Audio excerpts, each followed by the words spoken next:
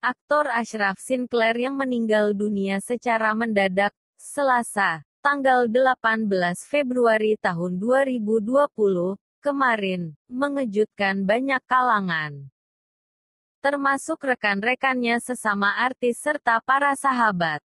Sejumlah pesohor pun menyampaikan duka mereka saat melayat ke rumah duka di kawasan Pejaten Barat, Jakarta Selatan.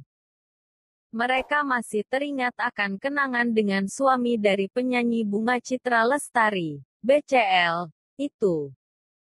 1. Hanung Bramantio dan janji bertemu.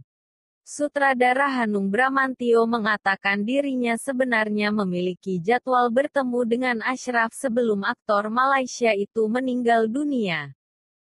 Terus terang saya sangat kaget karena hari ini saya ada janji sama dia untuk ketemu kata Hanung usai melayat. Tadinya mereka